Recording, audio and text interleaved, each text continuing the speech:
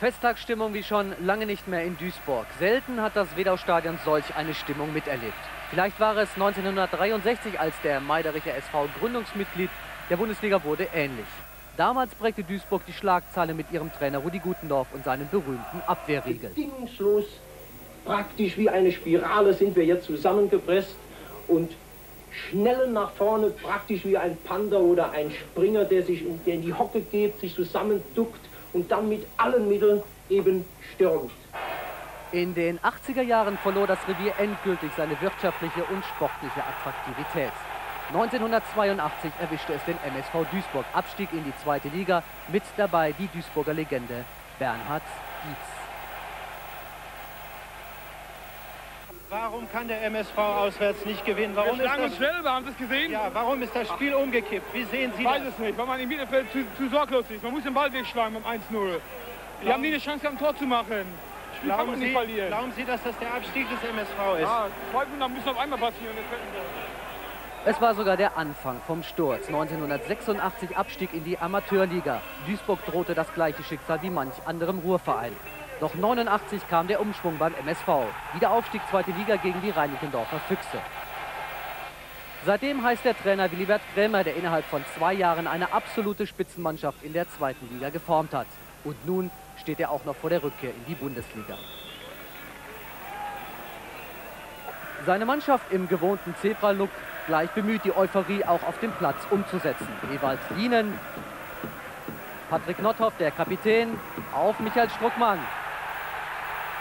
Der sucht den anderen Michael, Michael Tönjes. Berlins Torhüter Gerke zum ersten Mal mit der richtigen Reaktion. Die Wiederholung. Struckmann auf Tönjes.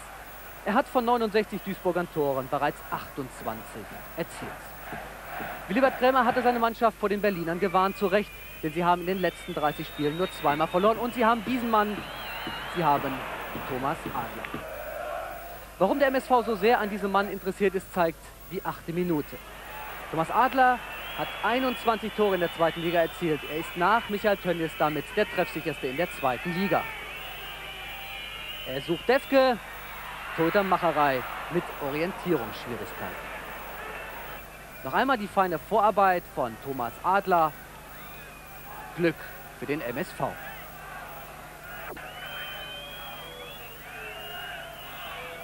Nach 10 Minuten Duisburg besser auf die Berliner Konter eingestellt. Nothoff, Steininger und Evadinen. Peter Gerke ruhig und abgeklärt. Dann wurde Duisburg allzu lässig. Fehler, Macherei und Thomas Adler ein Zusammenprall. Der Schiedsrichter pfiff nicht. Er hätte mal lieber pfeifen sollen, es war faul vom Duisburger Torhüter. Doch die Versöhnung folgte schnell. 0 zu 0 zur Halbzeit und ein Wiedersehen mit einem alten Bekannten.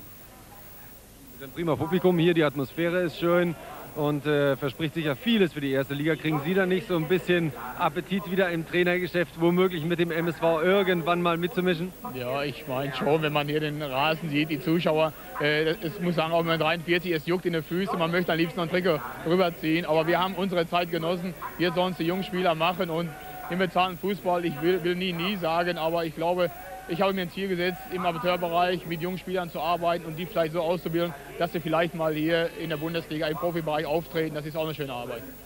Zweite Halbzeit, Duisburg wieder entschlossener mit Mariotti, der für Dirk Bremser kam. Gerke mit einem Reflex und Michael Tarnath. Da ging der Ball drüber. Torhüter Gerke wurde langsam zum Albtraum für den MSV. Duisburg jetzt eindeutig überlegen. Michael Tönjes, Struckmann, Holger Gerke wie eine Krake. Sicherlich einer der besten Torhüter der zweiten Liga. Einmal wurde es noch brenzlig für Duisburg. Bei diesem Freistoß, Macherei zu zögerlich, aber der Ball wischt am Pfosten vorbei. Sechs Minuten vor Schluss musste Schiedsrichter Mirswa eingreifen. Wie in den letzten Tagen schon üblich, säumten Tausende das Spielfeld. Von geordnetem Spiel keine Rede mehr.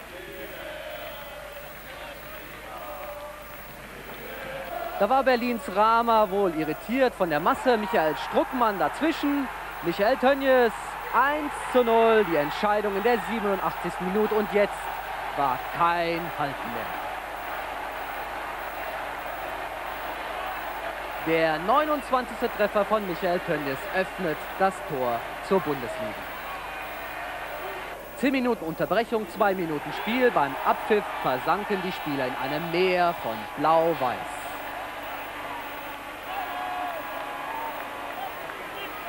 Und der Trainer, Willibert Krämer, suchte sofort die Ruhe der Kabine.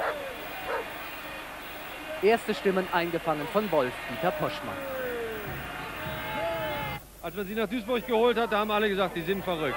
Aber jetzt haben sie zu den Leuten gehört, die mit dazu beigetragen haben, dass die Mannschaft erstklassig ist. Ja, ich glaube, da haben Sie schon recht. Irgendwie Alter ist auch eine Sache von Erfahrung. Und ich, irgendwo brauchte die Mannschaft Erfahrungswerte. Und ich glaube, die haben wir an und für sich mit reingebracht. Ob es jetzt ein Ewald ist oder Michael Tönnies oder meine Wenigkeit. Äh, das hat einfach über die ganze Serie gezeigt, dass wir, wenn er in brenzlichen Situationen war, auch irgendwo mal dann äh, Ruhe haben wieder einkehren lassen und den Ball auch mal ruhig hinten rumgespielt und irgendwie abgeklärt, die ganze Mannschaft war. Ja? Ewald Lien, ganz kurz. Das muss ja für Sie auch eine große Genugtuung sein, jetzt wieder in die erste Klasse zurückzukehren, wo Sie lange nicht mehr gespielt haben. Ja, was heißt Genugtuung? Das ist natürlich ein, ein, ein riesen sportlicher Erfolg für uns.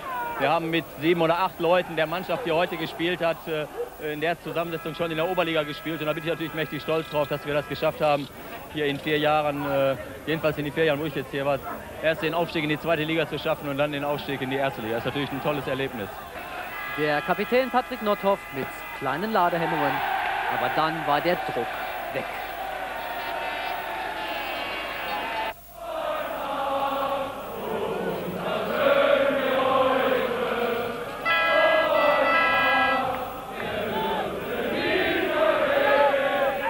Mannschaft feiert draußen. Sie haben sich ein bisschen zurückgezogen.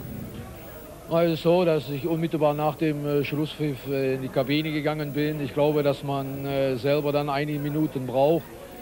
Und dann waren Kollegen vom Hörfunk da, die ich bedient habe. Jetzt bin ich bei Ihnen und ich werde mich jetzt so langsam unter das Volk mischen. Wir werden die Stammmannschaft zusammenbehalten, ausnahmslos und werden die Mannschaft ganz gezielt weiter verstärken. Und hier sind uns ja auch schon drei Verpflichtungen gelungen. Wir werden jetzt noch für den äh, Sturmbereich äh, einen starken Mann äh, holen. Und Haben Sie schon eine Idee, wen? Ja, wir haben mehrere im Auge, sind allerdings da noch nicht sehr weit gekommen. Wir sind aber sicher, dass wir nicht zu den Abstiegskandidaten zählen werden. Alle Ergebnisse des letzten Spieltages der zweiten Bundesliga. Meppen Hannover 1 zu 1, HWC Osnabrück 1 zu 5, Duisburg Blau-Weiß 90 1 zu 0, Mannheim Saarbrücken 1 zu 3, Schalke Darmstadt 1 zu 0, Stuttgarter Kickers Essen 3 zu 0, Homburg Fortuna Köln 3 zu 2, Münster Mainz 2 zu 3, Schweinfurt Braunschweig 0 zu 0 und Oldenburg Freiburg 2 zu 2. Nachdem die Schalke und der MSV Duisburg den Sprung nach oben bereits geschafft haben, müssen die Stuttgarter Kickers am 19. und 23. Juni gegen den FC St. Pauli in die Relegation. Am Tabellenende waren Essen und Meppen auf die Hilfe der Darmstädter angewiesen, die durch ihre Niederlage in Gelsenkirchen das Abstiegsquartett anführen.